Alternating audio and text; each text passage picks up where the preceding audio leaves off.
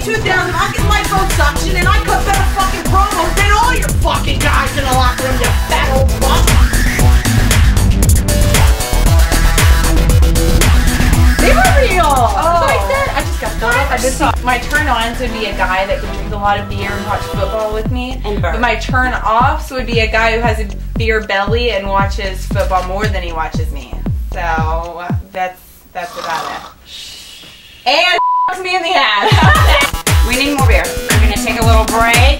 And then we're gonna have some games. like my man, like I bet everybody out there watching this tape is jerking off right oh now. Oh my god, they are so. Ah! But now here, 44 that's D. Bill these. These are small. Who's your mommy, motherfucker? Whose cock is this? You ever turn cock down? Is what I'm asking. No. I'm trying not married.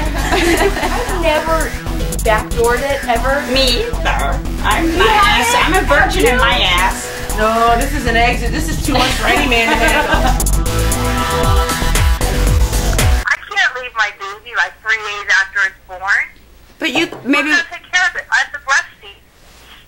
But can't can't you just stock it up? Stock the breast milk up? No, it's not. It's not it doesn't work like that. It's not. This is Camelia. I'm Dixie's Sarah secretary from TNA. Is this Mr. Farris? Hit him over the head with a guitar in Orlando, Florida.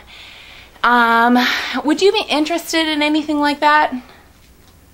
No, I'm, I'm committed to. WWE. You are. So even for two hundred dollars, I mean, F Marry Kill.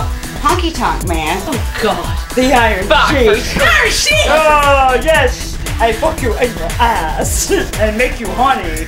And New Jack. Jesus Christ. New I- Jack fucking kill me. I was in Portland, Oregon with New Jack. He got me booked. And I have to say, he was a total gentleman. He looked out for me the whole time. So you'd fuck him. Don't hate me, bitches. Don't hate me.